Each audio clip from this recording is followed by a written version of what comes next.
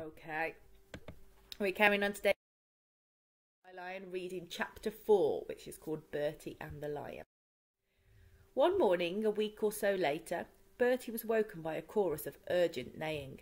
He jumped out of his bed and ran to the window. A herd of zebras was scattering away from the waterhole, chased by a couple of hyenas. Then he saw more hyenas, three of them, standing stock still, noses pointing, eyes fixed on the waterhole. It was only now that Bertie saw the lion cub. But this one wasn't white at all. He was covered in mud, with his back to the waterhole, and he was waving a pathetic paw at the hyenas who were beginning to circle. The lion cub had nowhere to run to, and the hyenas were sidling ever closer. Bertie was downstairs in a flash, leaping off the veranda and racing barefoot across the compound, shouting at the top of his voice. He threw open the gate and charged down the hill towards the waterhole, yelling and screaming and waving his arms like a wild thing. Startled at this sudden intrusion, the hyenas turned tail and ran, but not far. Once within range, Bertie hurled a broadside of pebbles at them, and they ran off again, but again not far. Then he was at the waterhole and between the lion cub and the hyenas, shouting at them to go away. They didn't. They stood and watched, uncertain for a while. Then they began to circle again, closer, closer. That was when the shot rang out. The hyenas bolted into the long grass and were gone. When Bertie turned around, he saw his mother in her nightgown, rifle in hand, running towards him. He had never seen her run before. Between them, they gathered up the mud matted cub and brought him home. He was too weak to struggle, though he tried. As soon as they had given him some warm milk, they dunked him in the bath to wash him. As the first of the mud came off, Bertie saw that he was white underneath. You see, he cried triumphantly. He is white. He is. I told you, didn't I? He's my white lion. His mother still could not bring herself to believe it. Five baths later, she had to. They sat him down by the stove in the washing basket and fed him again. All the milk he could drink, and he drank the lot. Then he lay down and slept. He was still asleep when Bertie's father got back at lunchtime. They told him how it had all happened. Please, father, I want to keep him, Bertie said. And so do I, said his mother. We both do. And she spoke as Bertie had never heard her speak before, her voice strong, determined. Bertie's father didn't, didn't seem to know quite how to reply. He just said, We'll talk about it later and then he walked out. They did talk about it later when Bertie was supposed to be in bed. He wasn't, though. He heard them arguing. He was outside the sitting room door, watching, listening. His father was pacing up. He'll grow up, you know, he was saying. You can't keep a, lion, a grown lion, you know that. And you know we can't just throw him back to the hyenas, replied his mother. He needs us, and maybe we need him. He'll be someone for Bertie to play with for a while. And then she added sadly, After all, it's not as if he's going to have any brothers or sisters, is it? At this, Bertie's father went over to her and kissed her gently on the forehead. It was the only time Bertie had ever seen him kiss her. All right, then, he said. All right, you can keep your lion. So the white cub came, the white lion cub came to live amongst them in the farmhouse. He slept at the end of Bertie's bed. Wherever Bertie went, the lion cub went too, even to the bathroom, where he would watch Bertie have his bath and lick his legs dry afterwards. They were never apart. It was Bertie who saw to the feeding, milk four times a day from one of his father's beer bottles, until later on when the lion cub lapped from a soup bowl. There was impala meat whenever he wanted it, and as he grew, and he grew fast, he wanted more and more of it. For the first time in his life, Bertie was totally happy. The lion cub was all the brothers and sisters he could ever want, all the friends he could ever need. The two of them would sit side by side on the sofa out on the veranda and watch the great red sun go down over Africa, and Bertie would read him Peter and the Wolf, and at the end he would always promise him that he would never let go never let him go off to, to a zoo and live behind bars like the wolf in the story and the lion cub would look up at Bertie with his trusting amber eyes. Why don't you give him a name? his mother asked one day. Because he doesn't need one, replied Bertie. He's a lion, not a person. Lions don't need names. Bertie's mother was always wonderfully patient with the lion, no matter how much mess he made, how many cushions he pounced on and ripped apart, no matter how much crockery he smashed. None of it seemed to upset her, and strangely, she was hardly ever ill these days. There was a spring to her step, and her laughter pealed around the house. His father was less happy about it. Lions, he muttered on, should not live in houses. You should keep them outside in the compound. You should keep him outside in the compound. But they never did. For both mother and son, the lion had brought a new life to their days. Life and laughter. Okay. Your five questions are list all the phrases which describe movement of animals on page 29. So there was quite a few. See if you can list them all. Why did Bertie run to the waterhole? Why did Bertie and his what did Bertie and his mum do with the cub when they got home? Why did Bertie's dad let them keep the lion cub? And what did the lion cub eat and drink? Your sentence stems. Make sure you answer in full sentences. Pause the video while you have a go and then press play to go through the answers. Okay, so the phrases which describe movement Words or phrases are scattering, chased, beginning to circle, waving a pathetic paw and sidling over on page 29. Question 2. Bertie ran to the waterhole to save the lion cub from the hyenas. Question 3. When they got home, Bertie and his mum gave the lion cub some milk and washed him in the bath. Question 4. Bertie's dad let them keep the lion cub as he and Bertie's mum were not going to have any more children. They couldn't have any more children, could they? And question five the lion cub ate impala meat and drank milk. Your three brain power questions. Why do you think Michael Morpurgo, so remember Michael Morpurgo is our author, why do you think he uses italics when Bertie is talking to his mum on page 31? Okay. Question seven. Do you think Bertie's mum is a strong character usually? Why do you think this? Give examples from the text use page 32 to help you with that one.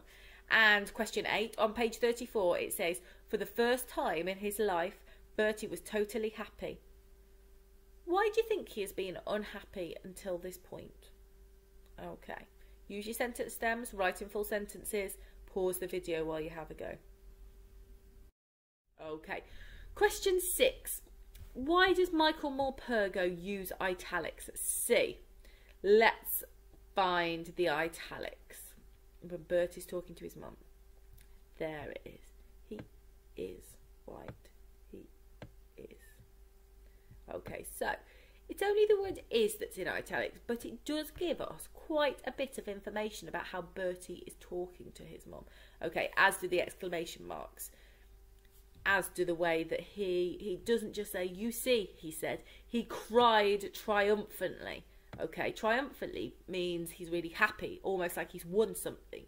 Okay, I think Michael Morpurgo uses italics because it emphasizes, okay, that Bertie was telling the truth earlier in the story when he told his mum and his mum didn't believe him. Okay, Michael Morpurgo uses these italics to emphasize that, okay, to emphasize that he was right. So we would read that from here as you see, he cried triumphantly. He is white. He is. I told you, didn't I? Okay, so it's almost like he's proving to his mom that he was right and she was wrong to not believe him. Question seven. Do you think Bertie's mum is a strong character usually? Use 32 to help you. We know from reading previously in the book, uh, earlier on in the book, that Bertie's mum normally just goes along with what Bertie's dad says. So Bertie's dad said you can't go out of the compound. And no matter how many times Bertie asks his mum, she says no. She said, no, what would your father say? Your father won't allow that. So she usually just agrees with the dad, is the impression that I get as the reader. And then when the when they have got the lion, you can see on page 32, the mum stands up to the dad and says, So do I, we both do. And it says here, Bertie had never heard her speak. before.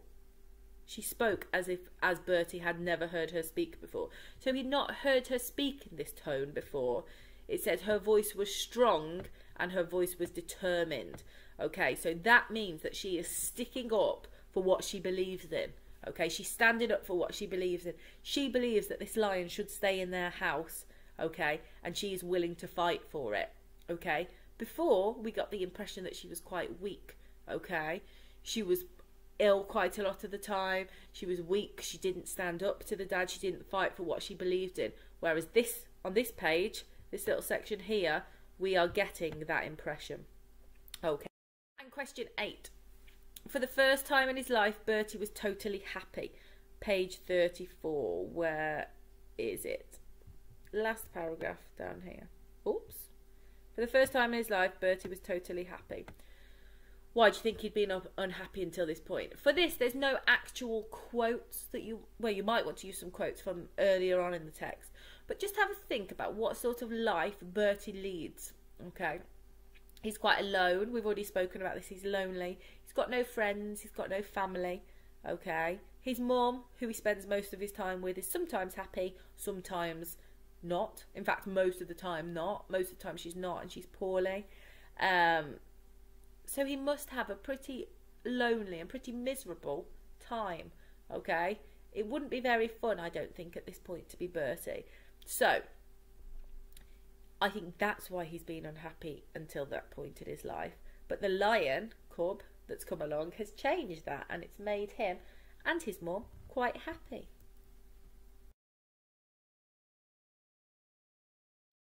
Hey guys, hope you found yesterday's lesson okay and you're ready to go through your answers for your do it and your secure it. So, the first question asks you to convert these AM times to digital and then order them from earliest to latest, okay? So, uh, the first one, hopefully you got that that was 0830 because it's gone past the 8 and it's on the 6 which is 30. The second one was 0458 so 2 minutes to 5. And the third one was 10.18. Okay, now if you put them in order from earliest to latest, you should have got that it was 0458, 0830, and then 1018. Okay. Uh, number two, what would the digital time be if it was 12 minutes later than the time shown on the clock? So the time on the clock is 0614, and then you needed to add 12 minutes. So hopefully you got that it was 0626. If you're looking at this and you're thinking, oh my goodness, I didn't get this, don't panic. Send me an email and we'll go through it together. All right? If you got onto your Do It Extra challenge, well done. I'm just going to go through the answers for you. So the first thing you needed to do was work out what time was shown on the analog clock and hopefully that you got that it was 09.35. So because he got there at that time, he could have caught the Bramley train and the Leeds train because they're all times that come after 0935. He would have missed the other two. You then needed to work out how long he would have had to have waited for each train.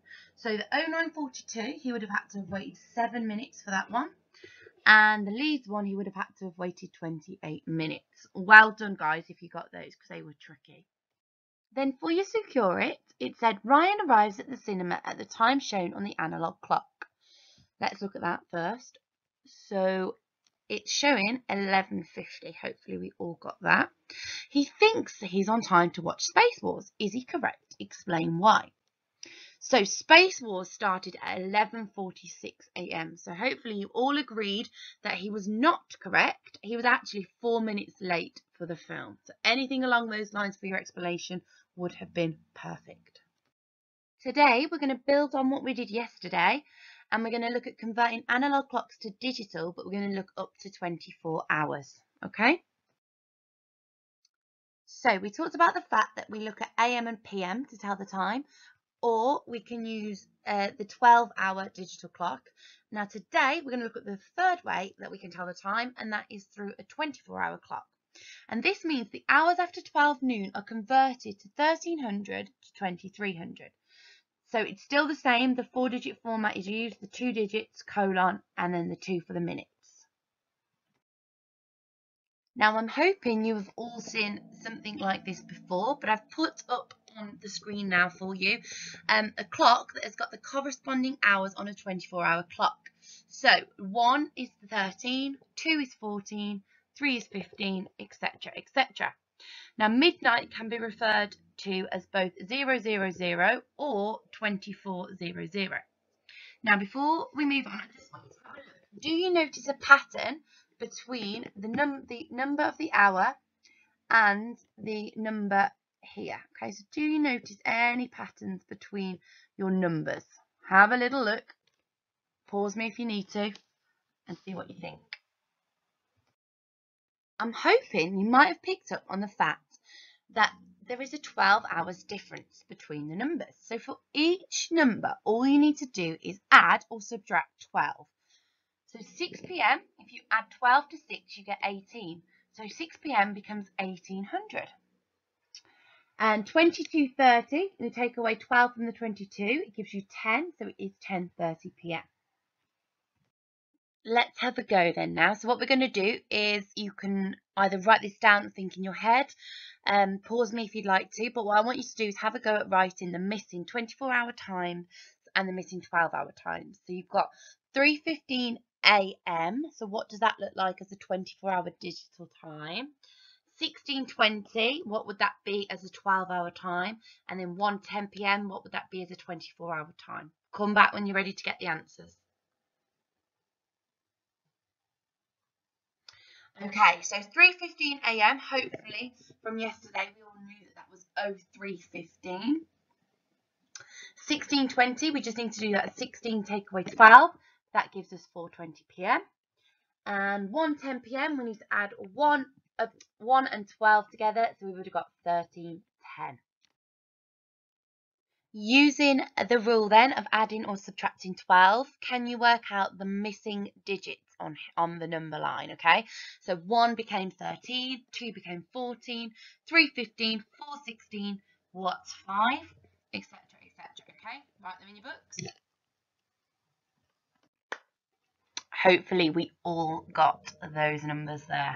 So it goes 1 to 12 and then carries on 13 all the way to 0, 0 or you can write 24.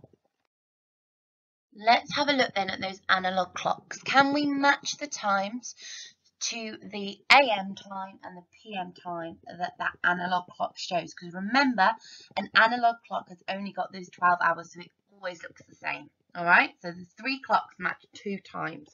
You can have a go in your book or just think about it and then come back when you're ready.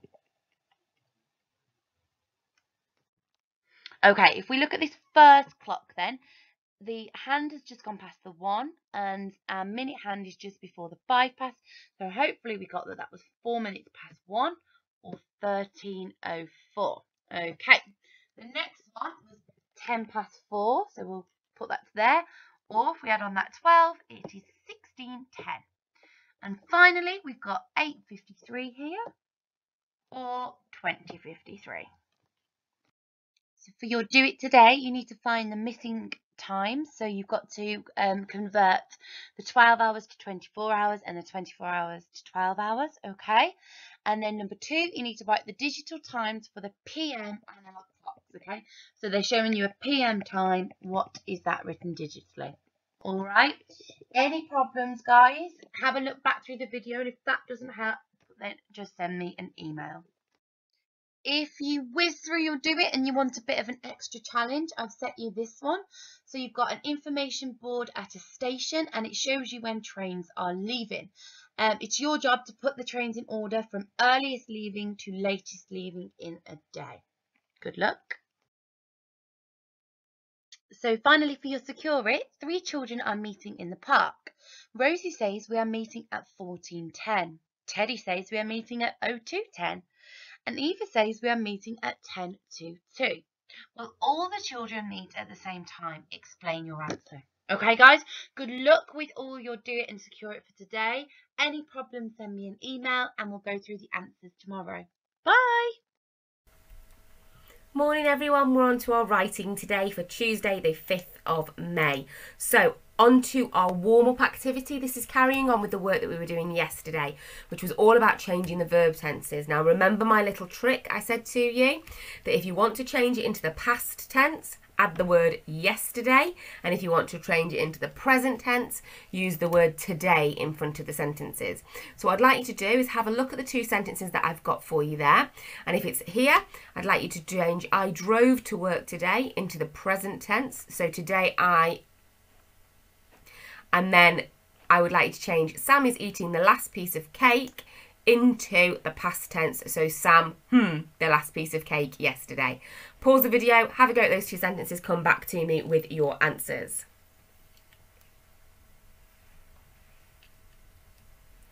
Okay, how did you get on with those this morning? Let's have a little look. So, yesterday I drove to work. And today I am I am driving to work. Okay? So the present tense was Sam is eating the last piece of cake. So we're going to change that to Sam ate the last piece of cake. Okay, remembering that we've got our irregular verbs here driving and drove, ate and eating. So today's learning to, is all about using the progressive form of verbs, okay? So we're going to have a little look about what that exactly means and then we're going to have a little go at using it in our writing today. And it's lots and lots of complicated words, but really it's something quite simple. So we know what verbs are. There are actions within a sentence. And we're going to be looking at the progressive form of these verbs. So the progressive means that things continue to happen, okay? They haven't stopped like when we caught the ball and it's over. Okay, it's more we are catching the ball because it's continuing to happen. Okay, we're going to have a little look at this. Okay, so these things are carrying on happening. She was running, we've got the ing at the end. Alice is balancing, We've got the ing at the end because she's still doing it. She hasn't stopped. And they are playing. Again, we've got that ing at the end. And they are continuing to do that. They are still playing. She's still running. They are still balancing. Okay? And that's what we're going to be looking at in our writing today. So the progressive form is continuous. It means that the action in the sentence, the verb in the sentence, carries on for a period of time. Okay, it's really important because this tells us that sometimes that the same thing was happening at the same time as something else. So let's have a look at this in action. So here's our tortoise. Tom's tortoise was waiting for his lettuce. Okay, it's past tense because it was, not it is, but we know is waiting for his lettuce. Okay. Sometimes it means that we can use this form to show us that he was waiting for it while something else happened, okay? Like this. So Tom's tortoise was waiting when he saw the lawnmower. Okay, so he was waiting when he saw something else. So the progressive form of verbs in the past and the present. So let's have a little look. Okay, so if we've got he walks, we're going to be adding, making it he is walking if it's going to continue. We're still going to use the word walking over here, but instead of it being in the past, he is walking. We're going to change that to the past, and it's going to become he was walking. Okay, let's do another example. She runs. Okay, so we're going to move it into the present and make it progressive. So she's not, she runs, it means it's finished. But she is running means that she carries on doing it. And if we want to put that now back into the past tense, we're going to change our is to a was. And what's that going to be? She was running. Fantastic. Well done, everybody. Okay, the dog whines. See if we can spot the pattern. We've added the is in as we've moved it into the present progressive. It's going to carry on. The dog is whining. Okay, the dog is whining. And if we change that to the past tense, we've now got the dog was whining. Okay, one more example with this. We listen. Okay. Now, can it be we is listening. Does that sound right? We is listening. No, you're absolutely right. It must be we are listening. We are listening. Well done. So instead of changing it from is to was, I wonder now if you can guess how we change we are listening to we hmm listening. What verb am I going to change it to? We are listening becomes we were listening. Well done. That's really, really tricky one. Okay. So we move from the present all the way into the past, just like the little dogs just moved on the screen. Okay, let's have a little look. So The progressive form of verbs tells us that they're doing something, okay, and it carries on happening. So we're not going to use the word leap in our sentence, we're going to use the word leaping, okay, because we're going to make it in the past. So we want to, is it to happen. So yesterday we were leaping, or yesterday I was leaping, okay. The children leapt is our past tense. And if we're still doing it, the children were leaping. Okay, just like we said, the children were leaping, or I am leaping. I was leaping. Okay, it shows that the action happened for a period of time, or if something else happened at the same time, like in this example down here. So the children were leaping about when the teacher opened the classroom door. So it tells us the children were doing something, but something else happened at the same time. So sometimes we need to choose whether we're going to use the past tense or the progressive tense, okay? The whole class is having its best day ever. If we write that in the past tense, we would change is having into the whole class had its best day ever. And if we want it in the progressive past, it's the whole class was having its best day ever. Can you see how it's ever so slightly different? It's still happening, it's already finished and it's over. We're going to use this in our writing today. That one sounds longer. So let's have a look, look at an example. We're going to work through some examples together and then we're going to order a story. So if we want to change it from the present tense, she kicks the ball. We're going to change it and make it the progressive present tense. She is kicking the ball. And then we're going to change it into the past progressive. She was kicking the ball. Remember, it's is and was that are most important and that our verbs, our regular verbs, end in ing, okay? Now it's your turn. Pause the video here.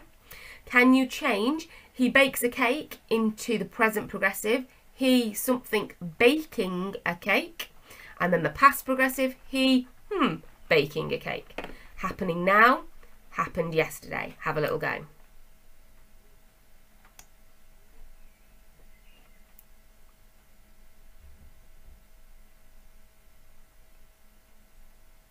Okay, let's see how you got on then. So did you get he is baking a cake? And he was baking a cake? Added the ing? Changed the ises and the wases? One more example then. They write a story. Okay, this one isn't a regular verb form. Okay, bit more tricky. Pause the video. Your turn.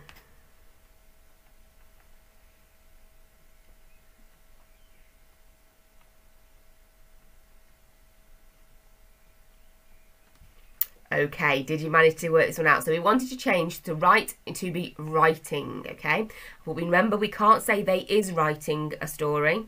We have to say they are writing a story, which means we're going to change it to they were writing a story. Well done if you managed to get that. It was a bit tricky, that one. Okay, so here is our writing challenge for today. You've got a very short ghost story here, but as you can see, it's all been jumbled up. So what I'd like you to do is copy the story into your book and I'd like you to put it in the correct order for me, okay? Now in here you will notice, hopefully, that we've got some past progressive tense, some was and ings happening, okay? So there's one here that just have a look at. He was driving quickly, okay? That's he is continuing to do that. So you can use those to help you to put it into order. So I'm going to give you the clue that it starts with it was a cold night in December. That's number one.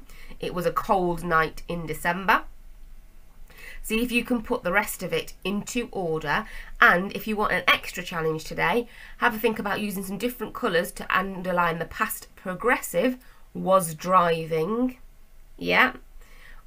And just the simple past tense, which is something like this. He stepped our ed endings being the simple past tense instead of our progressive which was was ing okay? So pause the video pop it into the correct order and then come back to me to check your order and you've finished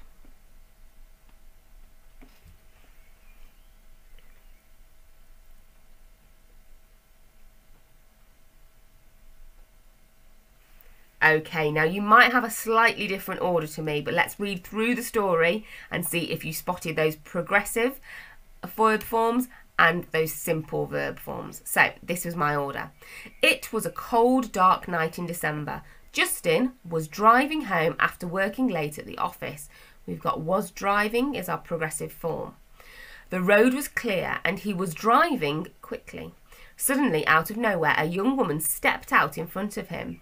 She was wearing a long black coat and carrying a small bag. Justin stepped hard on the brake, but it was too late. He got out of the car and looked around, but there was nobody there. While he was looking around the car, he felt a strange presence that sent shivers down his spine. He was looking under his car when a truck stopped behind him. The truck driver walked up to him and asked him if he needed any help, so Justin told the man what had happened. The truck driver didn't seem surprised when Justin told him about the young woman. A young woman was killed in a car crash on this road in December 1984, he said in a mysterious tone.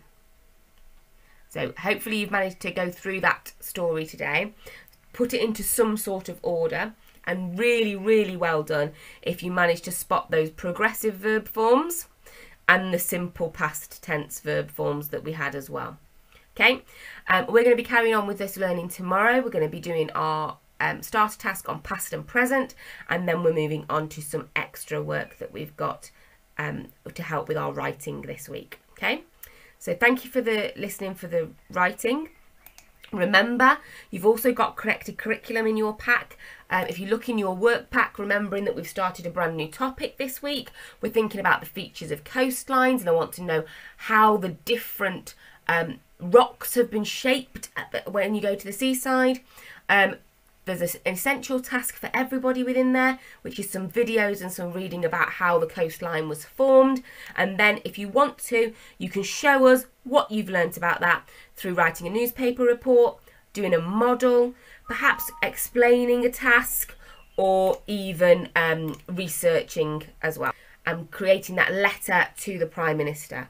Okay, I hope you have a brilliant, brilliant day today. I'll see you for more learning tomorrow. Um, enjoy the rest of your day. Bye, guys.